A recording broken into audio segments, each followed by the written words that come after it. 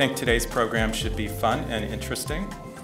Um, nobody has any financial disclosures, uh, none of the speakers, nor myself. Today's topics will relate to fever. Um, this is a quote that I love, one of my favorite quotes. As you know, I've spent a lot of my career dealing with sepsis. So um, humanity has but three great enemies, fever, famine, and war. And of these, by far the greatest, by far the most terrible, is fever. Um, I think he was specifically talking more about infection, but with fever being the cardinal manifestation. But today we're going to be talking about fever uh, also as a manifestation of infections. Um, so our first speaker, Dr. Ruvalcaba, a senior resident, is going to be uh, talking about fever, to treat or not to treat. That is the question. Thank you, Dr. Freed. All right, so the topic is fever, to treat or not to treat. So first, what is fever? So fever results from uh, an upward adjustment of in the thermoregulatory set point. So pyrogens such as bacterial lipopolysaccharides, tumor necrosis factor alpha, uh, interleukin 1 induce the syn synthesis of prostaglandin E2, which and then raises the set point in the anterior hypothalamus. The hypothalamus, in turn, activates heat generation through shivering and increased metabolism, and heat conservation through peripheral vasoconstriction. All of this to bring the body temperature up. So normal oral temperature is approximately 36.8 degrees Celsius or 98.2 degrees Fahrenheit, with an amplitude of variability of approximately 0.5 degrees Celsius between morning and evening. So during critical illness, the variability can be even greater due to things like disruption in the circadian rhythm, autonomic disturbances, drugs, ICU environment, and artifact. So in the interest of standardization, uh, the American College of Critical Care Medicine and the Infectious Disease Society of America define fever as the core body temperature of above or equal to 38.3 degrees Celsius or 101 uh, degrees Fahrenheit. The prevalence of ICU fever ranges from about 26% to 70%, depending on the population studied and um, the definition of infection used. So, should we treat fever? It is estimated that when either acetaminophen, ice packs, or cooling blankets are used, it can cost one 18 bed ICU between 10,000 and 29,000 per year pharmacological means to reduce fever, such as NSAIDs and uh, acetaminophen, can cause renal and hepatic dysfunction in patients who are volume depleted or who have an underlying kidney or liver dysfunction. Um, although fever can be an adaptive response to stress, it can uh, increase oxygen consumption and cause some discomfort to patients. It can also increase metabolic rate, minute ventilation, and cardiac output. Uh, fever has a metabolic cost such that cooling febrile ICU patients will reduce oxygen consumption by about 10% per degree Celsius. Some small studies in sedative patients uh, have demonstrated a significant reduction in the rate of oxygen consumption and the rate of carbon dioxide elimination during cooling. So in septic shock, temperature lowering, lowering by ibuprofen has also been associated with increased lactate clearance. However, fever is thought to inhibit the activity of viruses and bacteria, and antipyretic treatment can decrease this action. Uh, back in the day, before antibiotics, uh, induction of fever was used to treat things like meningococcal meningitis, gonorrhea, and syphilis. It has also been found in some studies that suppression of fever with antipyretic increases mortality in viral, bacterial, and parasitic infections in different mammalian species. Uh, back in 1978, Kluger showed that an elevation in temperature in lizards following experimental bacterial infection resulted in a significant increase in host survival. Antipyretics can also prolong the duration of illness in chickenpox, malaria parasitemia, and viral shedding in rhinovirus infection. Thus, there is a plausible biological rationale that fever may improve outcomes in patients with infection. So, a patient walks into a doctor's office and he says, I think I have an illness. What are your symptoms? I stay up all night dancing. Seems like you got a case of the boogie fever. Ha ha ha ha. It's fatal. So, into the data. So, Schulman et al. 20, uh, 2005 did a randomized controlled trial of 82 trauma patients with fever above 38 degrees Celsius without brain injury, who were treated with either aggressive means with antipyretics and cooling or permissive fever control strategy. Uh, this, this study was actually stopped after an interim analysis revealed a trend towards higher mortality and higher rates of infection in the aggressive arm. So, seven versus one death. Lee et al. in uh, 2012 uh, did a large multi-center prospective observational study involving over 1,400 non-neurologically critically ill patients, which revealed different associations um, between maximal peak temperature and mortality according to the presence of, of sepsis or not. Fever above 39.5 was associated with increased mortality in non-septic patients, while moderate fever between 37.5 to 38.4 was associated with decreased mortality in septic patients. In this study, the administration of antipyretic therapy in septic patients was independently associated with an increased mortality suggesting that mortality is higher for septic patients who fail to develop fever, supporting the argument that fever might be naturally protective.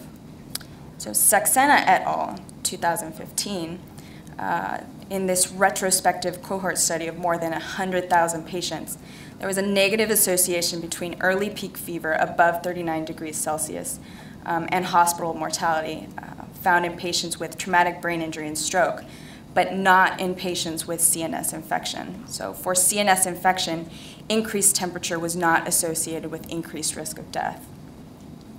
So the HEAT trial compared fever control by IV Tylenol with placebo in 691 randomized ICU patients with suspected infect infection and temperature of above 38 degrees Celsius. The outcome for ICU-free days 28 day and 90 day mortalities were similar in both groups. Neto et al. in uh, 2014 did a meta analysis of three randomized controlled trials covering 320 patients. This showed that patients treated with antipyretic agents showed similar ICU mortality when compared to patients who were treated with placebo or received no treatment. The only difference observed in this study was a greater decrease of temperature after 24 hours in patients treated with antipyretics. Young et al. in 2012 did a study, a very large study, with 129 ICUs in Australia and New Zealand, 201 ICUs in the UK, with a total of over 600,000 critically ill patients um, showed that elevated peak temperature in the first 24 hours in the ICU is, is associated with decreased in hospital mortality in critically ill patients with an infection. In the infection group, increasing peak temperature was associated with a progressively de decreasing risk of in hospital mortality until temperature reached about 39 to 39.4 degrees Celsius. And even when the peak temperature exceeded 40 degrees Celsius, there was a significant reduced risk of in-hospital mortality. So one potential explanation for the association between fever and reduced risk of mortality in the patients with the infective illness is that these pa patients fail to mount um, a febrile response are at increased risk of dying due to relatively uh, reduced production of pyrogenic cytokines, uh, linked to a blunted immunological response. So this predisposes them to an overwhelming infection. Uh, alternatively, it is possible that these patients with lower temperature, um, either due to phys physical cooling or antipyretics, are at increased risk. Uh, Schortgen et, et al. Uh, 2012 did a multi-center randomized controlled trial with 200 febrile patients with respiratory failure and vasopressor dependent shock uh, that were randomized either into external cooling uh, targeting normothermia or usual care without cooling. The primary endpoint of this study was a 50% reduction in baseline vasopressor dose about in at 48 hours. There was no difference in both groups. The external cooling group did have a lower vasopressor dose at 12 hours, greater shock reversal, and a lower 14-day mortality rate than the non-cooling group. However, there was no difference in mortality in, um, at ICU or hospital discharge. So, doctor, please come quick. His fever has gone from medium rare to well done. So, questions? Any questions? Well, well done. Um, So, there's a question in the back. Have there been any studies, uh, any studies looking at morbidity and fever? Do patients feel better when their fever is treated? There was a lot that looked mixed to me, just briefly hearing what you said on uh, mortality. Uh-huh. Difficult to show, but how about morbidity? Yeah, I, I didn't look specifically at morbidity. Um, I know sometimes people or patients feel better when their fever is treated, but uh, the studies that I mainly looked at were just mortality rates or improvement of outcome.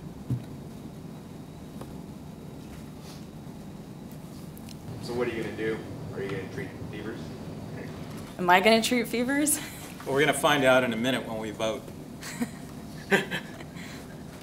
Or you can say what you want.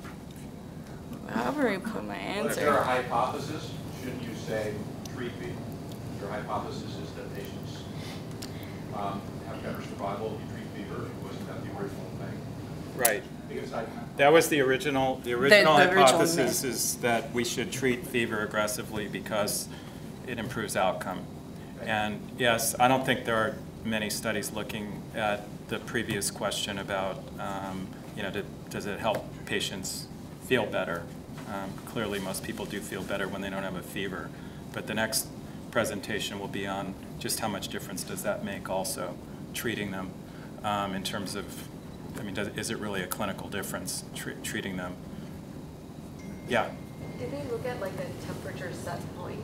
So if it was above a certain temperature in terms of the fever, it helped versus not, you know, like do, so is there a cutoff above which you should treat fever versus not needing to treat fever, or, or or maybe shouldn't treat fever?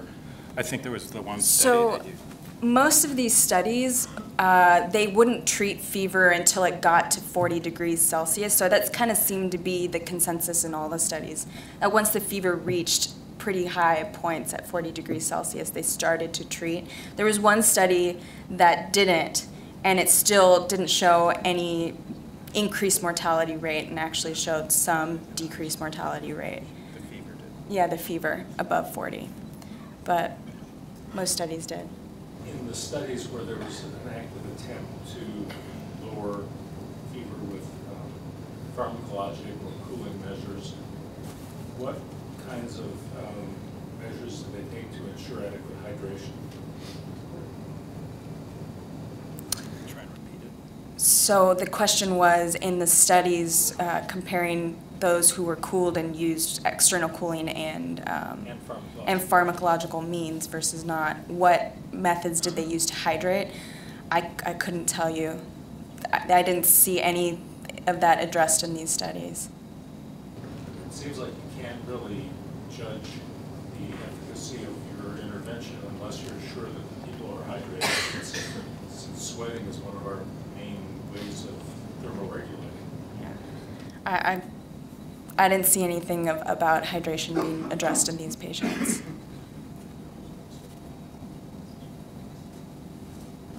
Any other questions? All right. Let's vote. How many feel that uh, we should treat fever aggressively? Is this myth?